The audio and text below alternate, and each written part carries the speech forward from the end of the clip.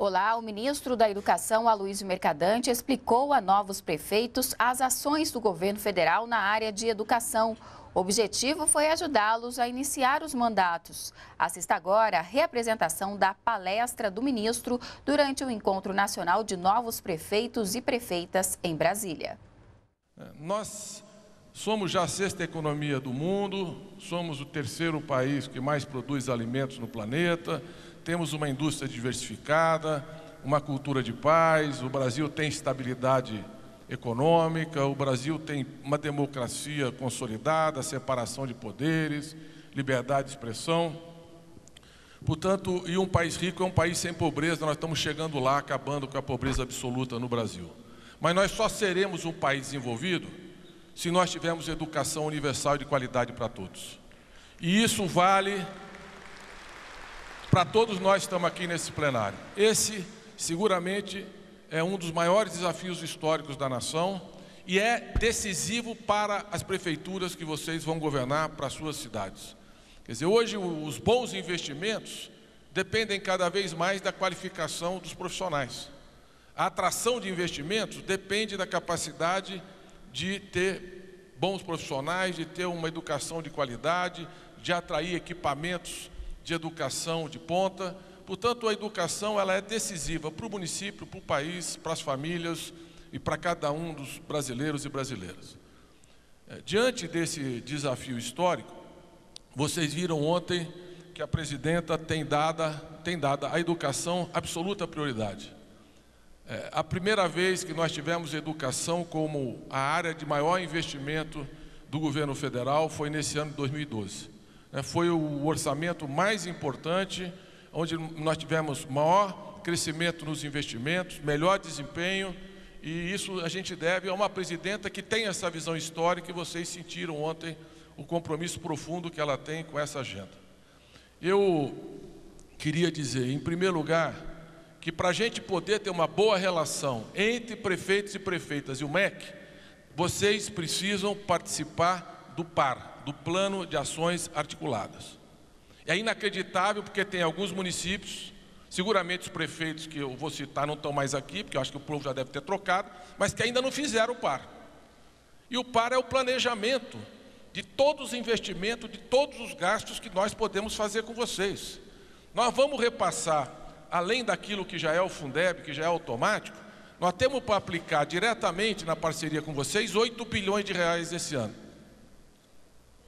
Não há como aplicar nada se não tiver o par.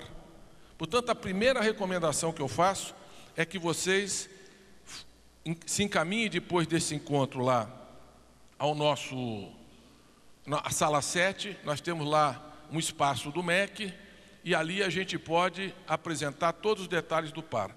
Todas as prefeituras vão receber esse caderno.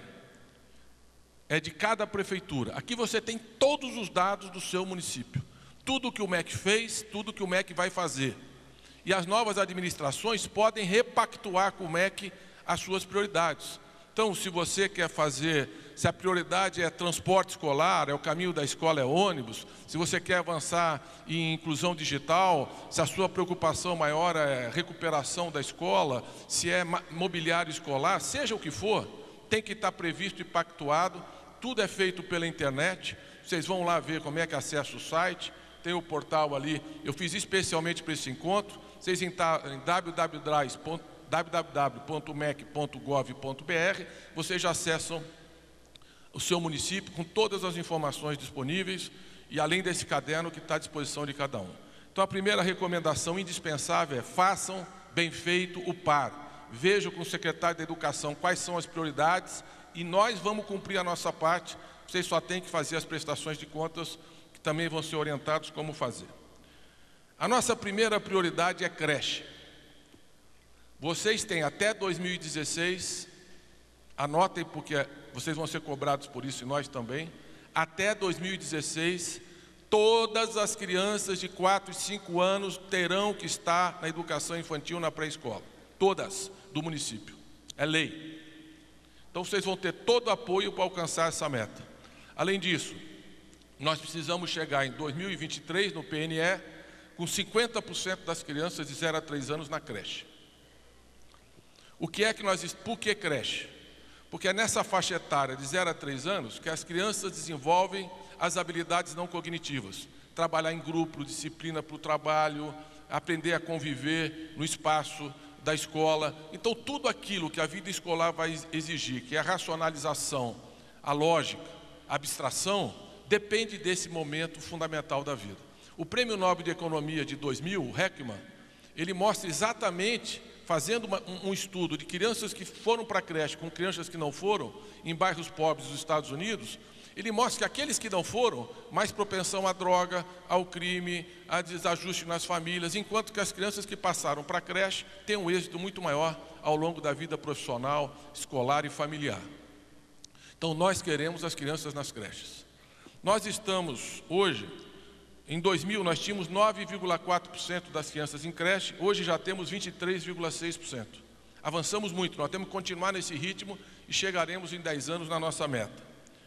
Dos 20% mais ricos, 36,3% estão nas creches.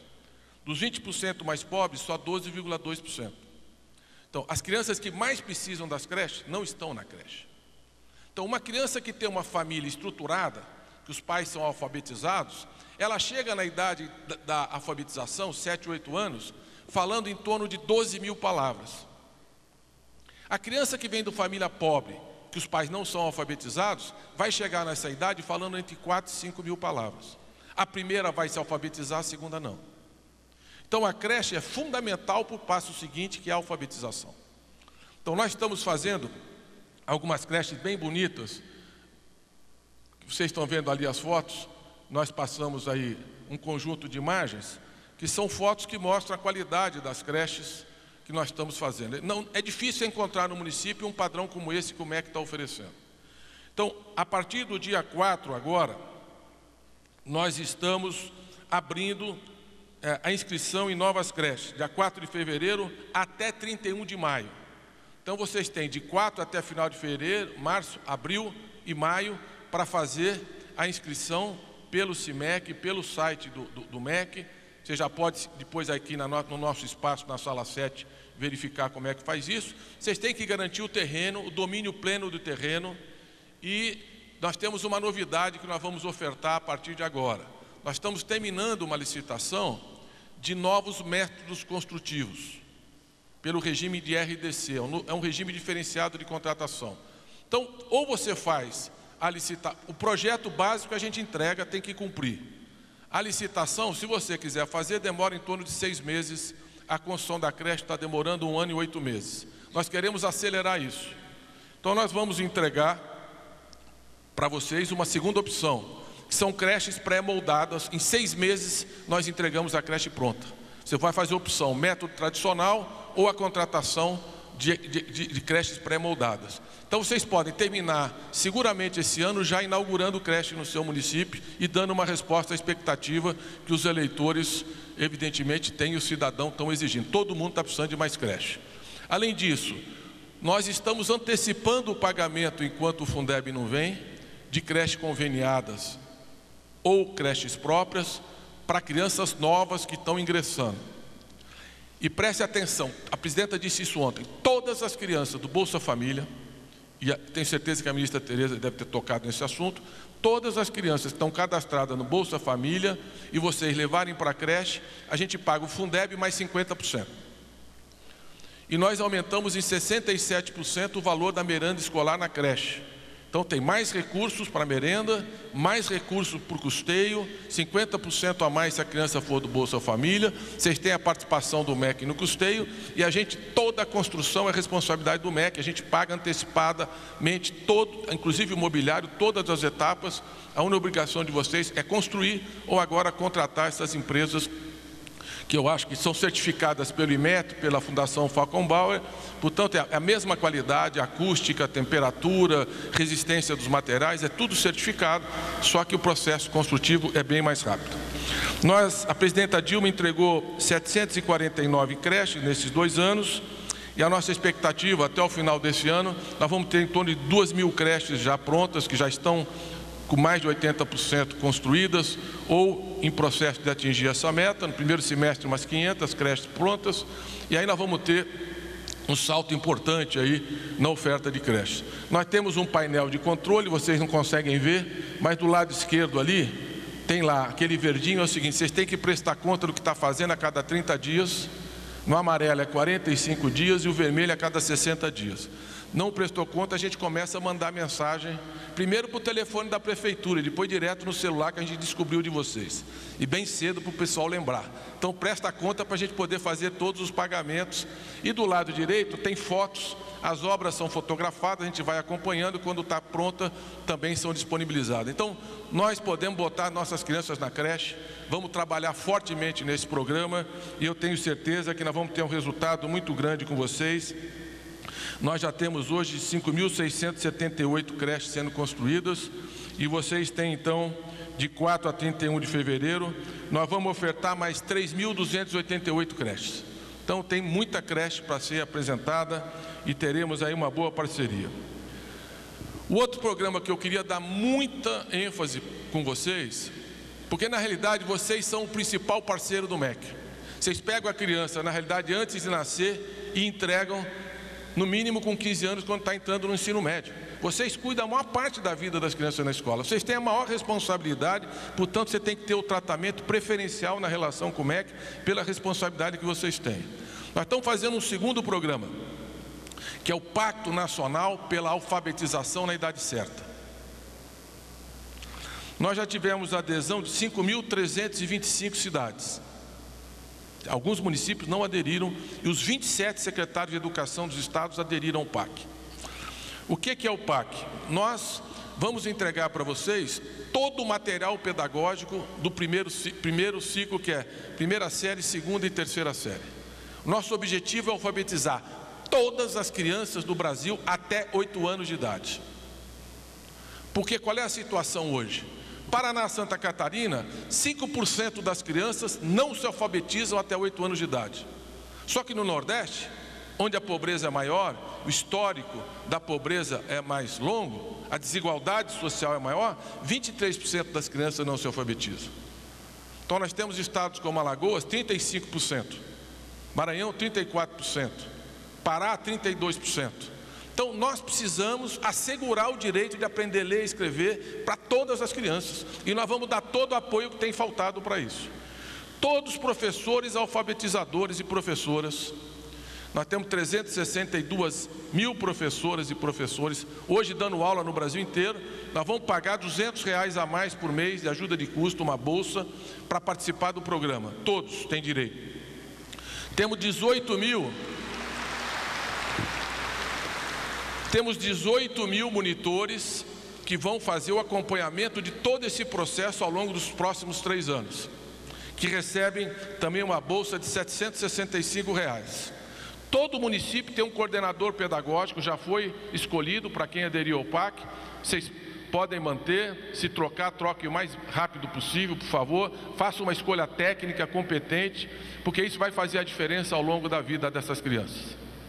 Todo o material pedagógico vocês vão receber, tanto para os alunos como para os professores, tudo. E nós estamos mandando uma biblioteca, um cantinho de leitura para ficar na sala de aula. Não vai faltar livros, jogos, tudo que ela precisa. Foram 36 universidades trabalhando nesse projeto. Então vai ter monitor, vai ter orientação, acompanhamento, vai ter que prestar conta criança por criança e atenção. Nós vamos avaliar ao final desse ano se as crianças de 8 anos, quem vai avaliar o INEP é uma avaliação externa, se elas sabem ler, escrever, interpretar um texto e se dominam as primeiras contas. Vai ter avaliação em todas as escolas do Brasil. E o ano que vem nós vamos avaliar aos 7 anos e aos 8 anos. Esse ano vamos avaliar só no terceiro ano, o ano que vem no segundo e no terceiro. Porque aí a gente já sabe aonde está a dificuldade com 7 anos para corrigir e tentar alcançar todo mundo até 8 anos de idade. Eu acho que se vocês fizerem isso, vocês já mudaram a história da cidade. Se todas as crianças no seu município aprenderem a ler e escrever, vocês sabem o quanto pesa para um cidadão hoje não ter o domínio pleno da leitura interpretação do texto. E nós gastamos 9 bilhões de reais por ano só, só com a repetência na escola. Você tem que fazer de novo o que você não fez bem feito com o aluno. E qual é o problema fundamental? A raiz é essa: não domina a leitura, não domina a interpretação de texto, não domina os princípios básicos da aritmética para aprender cálculo e matemática, a criança não se desenvolve na escola. Então, a alfabetização na idade certa é um programa que está totalmente pronto, os municípios que já aderiram já estão acompanhando. Eu daria muita importância esse coordenador, você chame lá toda hora para ver, acompanhar, verificar, visitar as crianças e vamos fazer o Brasil aprender a ler e escrever. Nós vamos ajudar a combater a maior chaga da sociedade moderna, que é o analfabetismo. Além do, do pacto, nós estamos reabrindo também para vocês a contratação de quadras e coberturas de quadras. São essas quadras, são espaços bem bonitos, eles também são definidos. Nós vamos ofertar mais à frente também, ainda não está pronto, as quadras pré-moldadas para acelerar a construção, tem sido um pouco lenta. Das quadras financiadas em 2011, nós já entregamos 100, temos 820 em obras. Então, nós temos aí, nós vamos agora abrir mais é, as quadras para escolas com mais de 100 alunos. Antes eram 500, agora é 100. Então, abriu principalmente para os pequenos municípios, porque isso é fundamental para fazer educação física, aproveitar a Olimpíada para criar um espírito olímpico, dá para ter um recreio protegido do sol, protegido da chuva, então é um espaço muito importante. Quando a escola não tem esse espaço, você pode construir até 500 metros da escola. Mas o terreno tem que ser próximo da escola, ou ao lado da escola, ou dentro da escola. Vocês têm que resolver o terreno, o resto a gente financia, entrega o projeto e paga antecipadamente também para vocês. Nós temos um outro grande desafio que é a valorização e a formação continuada dos professores. Não há educação sem a relação professor-aluno. O professor é indispensável no processo de aprendizado e na pedagogia. Então, criar uma boa relação com os professores é investir na sua formação. Nós temos a Universidade Aberta do Brasil, Hoje nós temos 270 mil matrículas na Universidade Aberta do Brasil, 52,5% em licenciatura. É o ensino à distância e muitas prefeituras têm o polo da Universidade Aberta. Mas nem todos os prefeitos estão cuidando como deveriam do polo. Então eu peço atenção a isso, que vocês cuidem, acompanhem o polo, porque senão nós vamos ter que transferir o polo para outra cidade. Eu tenho certeza que quem não estava cuidando já não está aqui também, já perdeu a eleição, vocês já botaram para fora. Mas cuidem bem do polo, para a gente poder ter um polo ali que faça a formação dos professores com carinho. A oposição toda bateu palma, você viu, né? Então é muito importante a coisa do polo. Nós temos uma lei que foi aprovada pelo Congresso Nacional, que é o piso nacional salarial dos professores. O MEC apenas publica os parâmetros que a lei exige. Hoje, o MEC tem consciência, e vocês também, os governadores, e os próprios professores, porque a Confederação Nacional dos Trabalhadores de Educação tem demonstrado abertura para buscar construir uma alternativa. Uma lei, do meu ponto de vista, será tanto melhor se ela for pactuada entre prefeitos, governadores e professores com a CNTE. Porque a lei como está, ela, ao longo dos próximos anos, ela tensiona demais as finanças municipais e estaduais e nós temos que ter um crescimento salarial dos professores que seja sustentável e progressivo e que seja compatível com os recursos orçamentários que as prefeituras e os governos têm. Há um DIME que reúne os secretários de educação municipal e a Confederação Nacional dos Trabalhadores da Educação fizeram uma proposta de alteração. Cabe ao Congresso votar agora esta matéria tem mais de um projeto sendo discutido, o Congresso precisa votar, nós temos que resolver isso em 2013. É muito importante que a gente tenha um piso que seja compatível com a capacidade de pagamento dos municípios e dos governos federais. Então, e, e, dos governos estaduais. À disposição do MEC, a gente repassa todo o Fundeb, todos os recursos são repassados aos municípios, mas nós reconhecemos que há problema da forma como a lei foi aprovada e há o compromisso da Confederação Nacional dos Trabalhadores da Educação, da Undime, e nós estamos discutindo também com o CONSED, que são os secretários de educação dos estados, para ver se a gente consegue chegar a um amplo entendimento sobre essa matéria para o Congresso ajustar a legislação que valorize o professor, que garanta o piso, mas de forma a um crescimento compatível com a receita dos municípios e dos estados. Nós temos um outro programa que é muito importante do meu ponto de vista e que acho que vocês deveriam dar muita atenção, que é a educação integral. A nossa meta para 2014 eram 30 mil escolas. Nós já cumprimos em 2012. Já temos 30 mil escolas com educação integral. Vocês é que vão demandar. Quando a educação é integral, mais educação, nós temos sete horas de jornada escolar. Nós pagamos três refeições, pagamos os monitores, a escola escolhe quais os campos que ela quer trabalhar no contraturno dos alunos, ou seja, se tem aula de manhã, o que, que vai fazer à tarde. Então tem uma parte de cultura, atividades culturais, e nós damos os instrumentos musicais, tudo o que precisa. Tem uma parte de jogos, nós damos equipamentos para desenvolver as atividades esportivas na escola.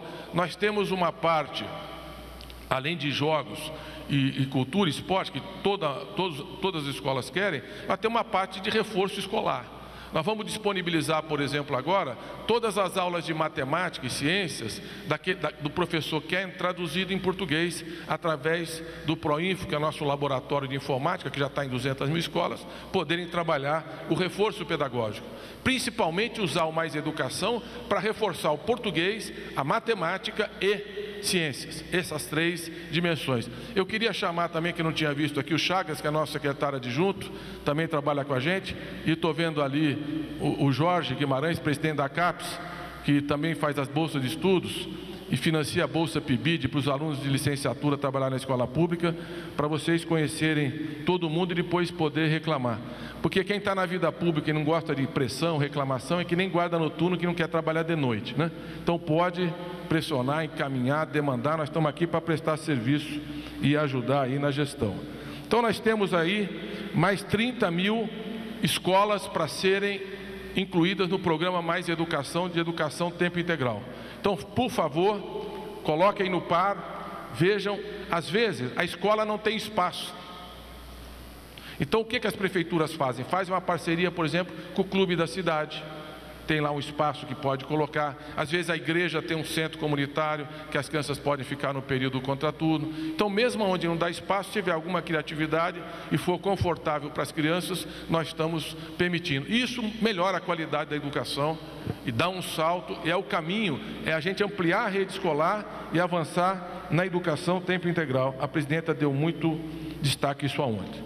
Um outro projeto que eu quero chamar a atenção é o caminho da escola: ônibus, lancha e bicicleta.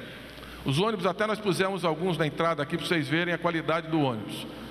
A nossa prioridade são para os municípios com área rural. E aqui não tem grande e pequeno, não, é para todo mundo que tem terra e os alunos comerem poeira, tem direito ao ônibus, porque quando chove, as crianças não conseguem passar muitas vezes na estrada, então os ônibus são 4x4, total segurança, são desenhados só para isso e nós entregamos o ônibus ponta. Vocês podem aderir ao processo, se quiser comprar mais com recursos próprios também pode. E nós temos também ônibus por viver sem limites, que são para crianças com problemas de mobilidade.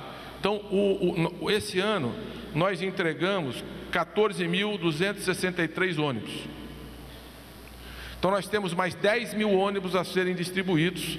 Vocês podem, a lancha agora nós fizemos um modelo mais moderno, mais seguro, e, e mais é, importante, é uma, é, ela é com, com, motor a diesel, então dá muito mais segurança e, e, mais longevidade do motor. Vocês podem optar, principalmente os, os, os, os, municípios do norte do país. E tem a bicicleta também com capacete para a criança, às vezes, ir até o local em que o, o, o ônibus passa para pegar. E não tem comparação mandar a criança em, em, em Kombi e van. O ônibus é outra qualidade, é outro padrão, é 4x4 e dá total tranquilidade para vocês e muito mais capacidade de resistência. O outro ponto que eu queria chamar a atenção de vocês são as compras governamentais. O MEC oferece, por exemplo, mobiliário escolar. Nós temos lá equipamentos de cozinha agora. Temos uma série de equipamentos de cozinha para vocês: fogão, geladeira, freezer, tudo que precisa. Nós temos ventiladores, ar refrigerado, e você sabe como é que fica a nossa sala de aula no período do verão, principalmente no nosso querido Nordeste brasileiro. Nós temos instrumentos musicais e eletrônicos, nós temos a parte de uniformes escolares, Uniforme vocês têm que comprar com recurso próprio. Material escolar também. O resto tudo nós podemos ofertar. Agora, qual é a vantagem de comprar no pregão eletrônico do MEC? É tudo certificado pelo IMET, qualidade, conformidade, agilidade. Você não precisa fazer uma licitação e per perder o tempo que vocês pedem para fazer um processo licitatório com as pendências judici judiciais. Tem agilidade. E o preço. Porque como nós compramos nacionalmente, o preço é muito mais barato e muito mais acessível. Então vocês passem lá no espaço do MEC, vocês vão ver tênis, roupa para ginástica, material escolar, mochila, lápis, caderno, borracha, o que vocês quiserem para a escola, nós temos lá disponível para atender vocês. E alguns equipamentos como cozinha, mobiliário escolar, ventilador, ar-condicionado, nós, o MEC oferta, se tiver dentro do par, nós podemos ser parceiro também nisso. É, além das compras governamentais, eu queria chamar a atenção do Pronacampo. Nós fizemos um programa específico para o campo. Primeiro, todo o material didático a partir desse ano é voltado para o universo rural. Quer dizer, não adianta as crianças do campo chegam em casa, liga a televisão, só vê imagem da cidade. A novela é na cidade, tudo acontece na cidade. A gente precisa valorizar mais o campo brasileiro, as raízes, as tradições, a cultura, dar importância ao homem do campo, às raízes da terra. Então, todo o material pedagógico agora é voltado para essas raízes, para a valorização do campo. Nós construímos esse ano 345 novas escolas rurais e vamos construir mais mil esse ano. Então, quem tem escola rural, que precisa de uma escola nova, pode entrar no programa e nós vamos atender. São escolas de excelente padrão. Além das escolas rurais, nós estamos também reformando as escolas existentes, porque muitas não têm, não têm banheiro, vocês sabem disso, às vezes não tem água, às vezes não tem luz. Então nós repassamos recursos esse ano, de 2012, para 6.645 escolas rurais. Nós queremos universalizar essas condições de acesso à energia, água, saneamento e, ao mesmo tempo, construir escolas mais modernas, mais adaptadas ao campo. E o transporte ajuda a gente a fortalecer e estimular uma boa educação no campo eh, brasileiro. Nós também distribuímos 5 mil equipamentos de informática para o campo, 47 mil laptops. Nós estamos também informatizando as escolas rurais para prestigiar essa molecada do campo, que é o terceiro país que mais produz alimentos. Nós somos há 10 anos o país que mais exporta alimentos para o mundo e nós temos que tratar o nosso campo com a importância que ele tem para a história econômica, para o Brasil e mesmo para a demanda do país que não tem a mesma condição. Então nós estamos dando muita atenção para o Anacampo. E também temos um programa específico para as escolas indígenas tanto em termos de alimentação, cultura, material pedagógico, ele é muito específico em relação às escolas indígenas, tem todo um tratamento e a gente faz em parceria com a FUNAI. O outro item que eu queria dar, chamar a atenção é o Pronatec. A presidenta falou ontem rapidamente disso. Nós lançamos, isso é um caminhão do Pronatec, ó, o ETEC Brasil. Nós lançamos o Pronatec há um ano e alguns meses. Em um ano nós tivemos 2 milhões e meio de matrículas que, que é o Pronatec? Ensino técnico profissionalizante. Num primeiro momento, a gente só dava o ensino profissionalizante para os estudantes que já tinham o ensino regular. Ou seja, ele estava fazendo o ensino regular e concomitantemente estava fazendo o Pronatec, algum ensino técnico profissionalizante. A partir de agora, nós também abrimos para o subsequente, ou seja, ele já se formou no ensino médio, e vai fazer o ensino técnico profissionalizante. E, se ele quiser voltar a estudar, ele também pode fazer. Está aberta a porta agora do Pronatec. Nós trabalhamos em parceria com o Senai, com o Senar, com o Senac, com todo o Sistema S, que são parceiros fundamentais na contratação desses cursos. Então, por exemplo, todos os trabalhadores desempregados que receberam o segundo seguro-desemprego têm direito ao Pronatec. Todas as famílias do Bolsa Família têm direito ao Pronatec. E os jovens, nós utilizamos a nossa rede dos institutos federais e o Sistema S. E vocês sabem que se quiser atrair bom investimento, precisa ter mão de obra técnica profissional. Nós estudamos todas as cadeias produtivas do Brasil e a expansão dos institutos federais e da rede do Senai O governo federal está financiando um bilhão e meio de reais para ampliar o Senai vai ser feito para impulsionar as cadeias produtivas da região de vocês. Ou seja, o que é que vai gerar um emprego no futuro e preparar o jovem. Porque não basta simplesmente atrair uma empresa para a região, para o município, e aí a mão de obra qualificada vem toda de fora da cidade. O que nos interessa é atrair e valorizar o município para disputar os melhores empregos. E vocês podem demandar vagas no Pronatec. Nós temos hoje é, 2.450 municípios que estão participando do Pronatec, metade não está. Então se organize através da Secretaria de Ciência Social.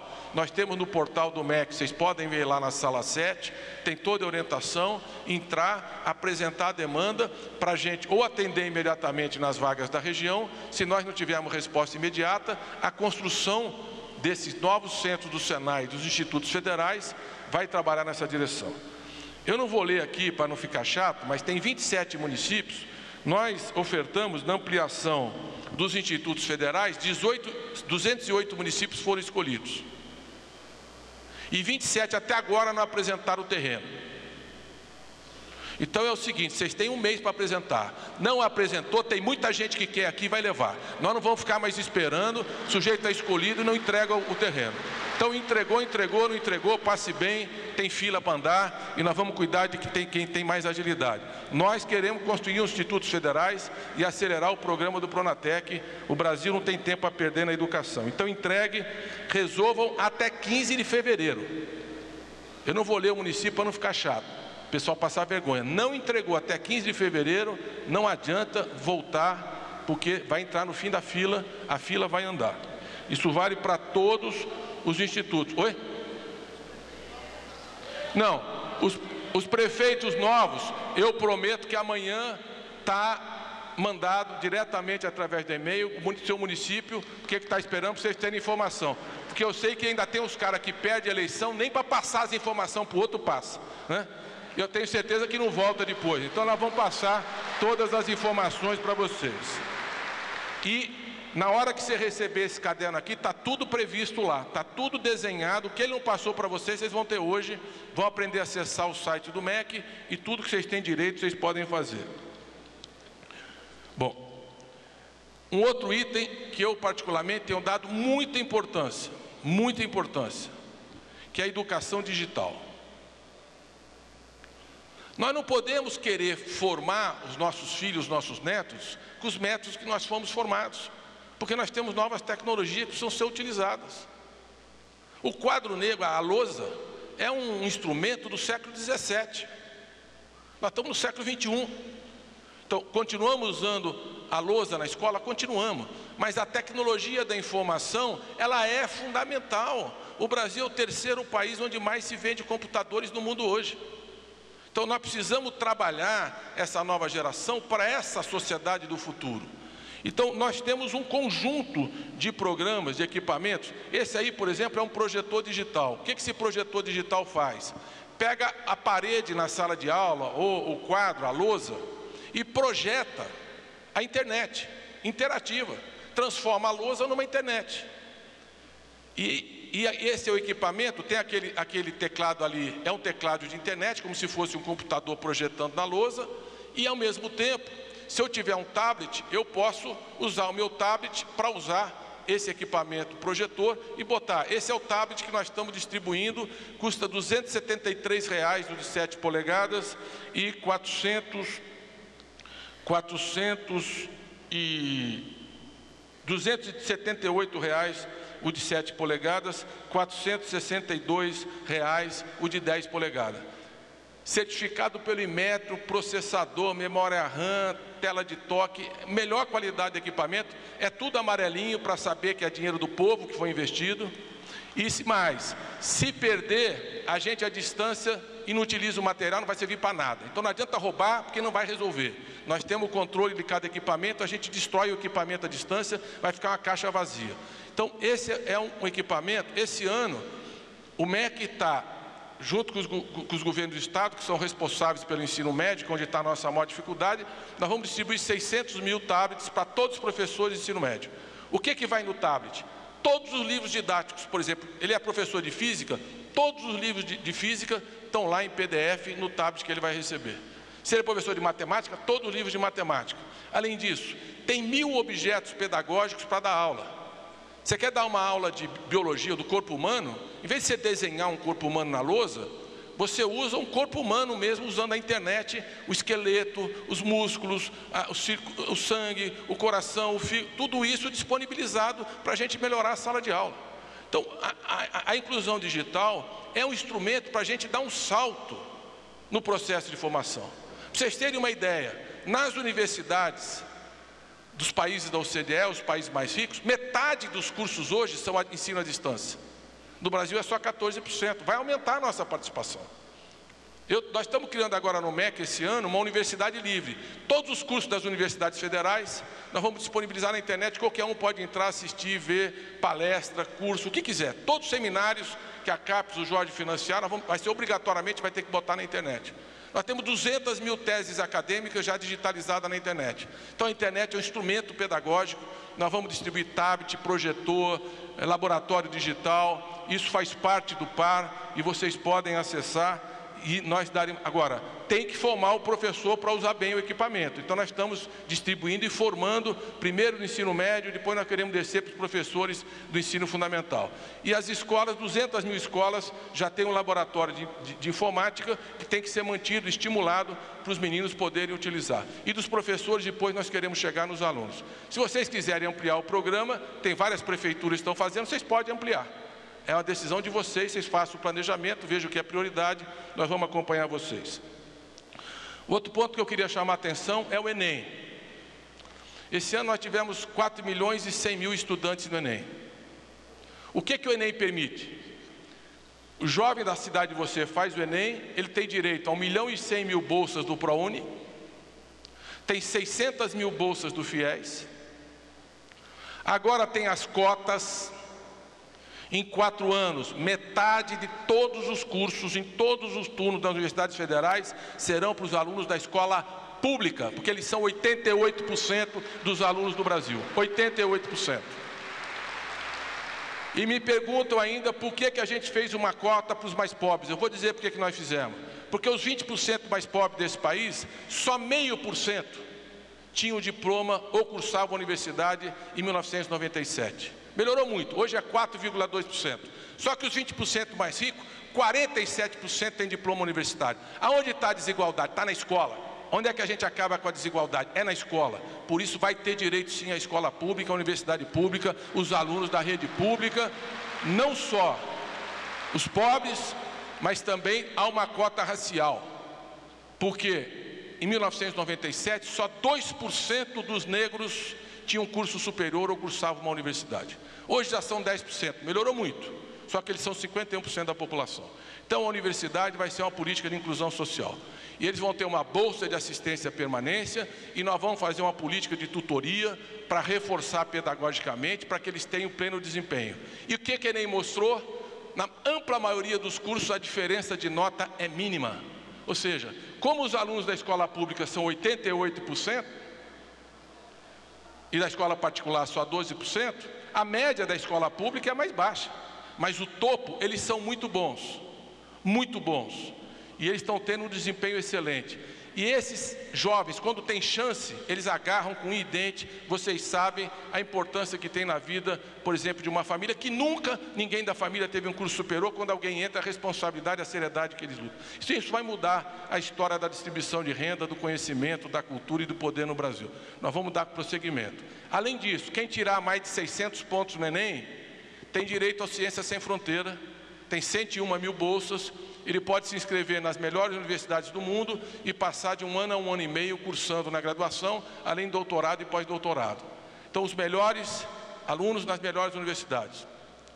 Todos que tirarem mais de 600 pontos esse ano no Enem vão receber uma senha para fazer um curso de inglês, que é o melhor curso que existe no mundo, interativo, corrige pronúncia, é o que a China usa, os principais países usam, e nós vamos fazer polos presenciais, que todos os alunos das federais também vão ter direito, para reforçar o aprendizado do inglês.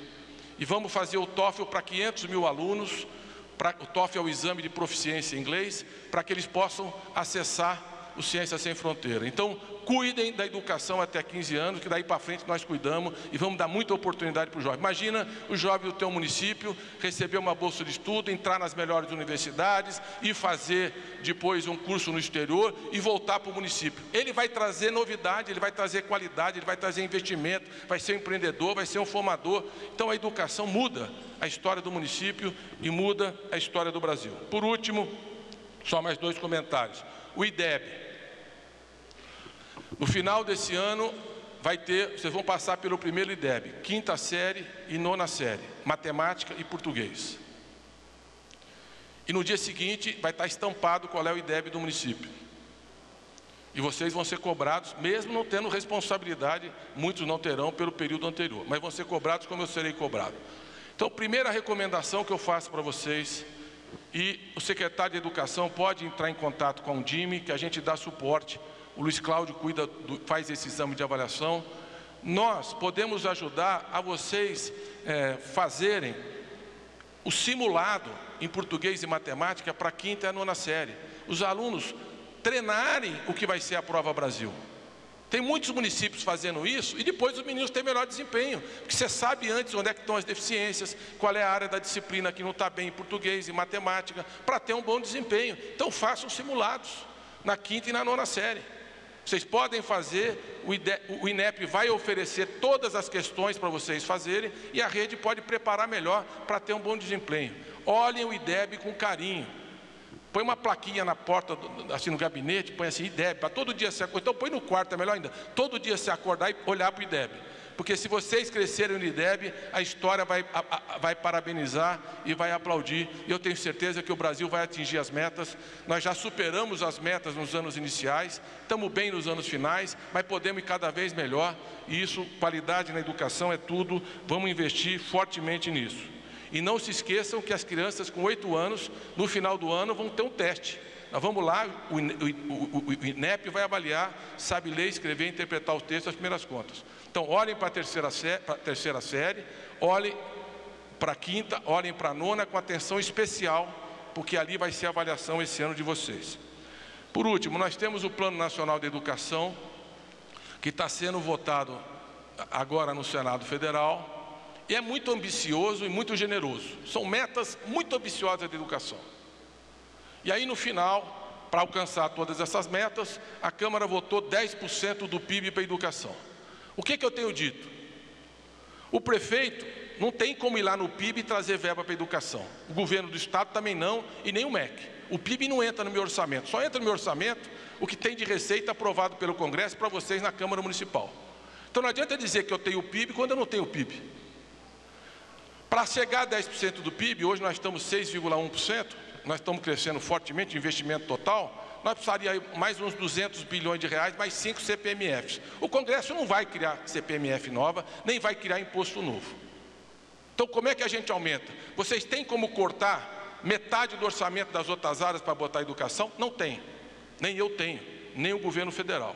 Então, realisticamente, só há uma fonte de recursos que permite dar esse salto. E eu só queria terminar dizendo isso. O petróleo é uma energia não renovável.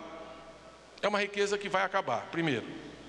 Que é que nós vamos deixar no Brasil pós-petróleo? Segunda questão que eu queria chamar a atenção, além disso, que o petróleo, muitas nações que foram grandes produtores exportadores de petróleo, o que que viraram? O que que é o Iraque? O que é o Irã? O que é o Congo?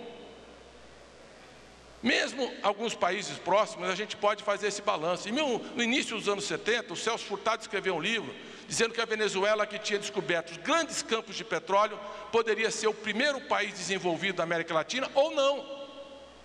Foi a mesma época que a Noruega descobriu. A Noruega criou um fundo soberano e vinculou as políticas sociais estratégicas.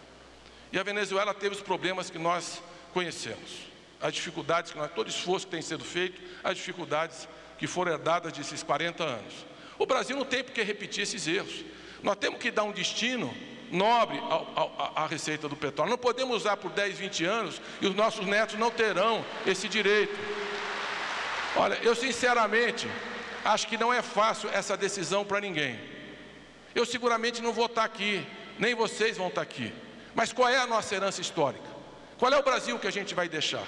O que é que vocês mais vão se orgulhar quando terminar o mandato? Será que é o asfalto na rua? É muito importante arrumar uma praça, melhorar a qualidade da mobilidade, mas não tem herança mais importante para essa nação do que a gente colocar a educação de qualidade e formar aqueles que nascem no seu município para serem cidadãos plenos, poderem crescer, se desenvolver e acessar o mercado de trabalho. É por isso sinceramente, os royalties têm que ir para a educação e para a sala de aula. Muito obrigado.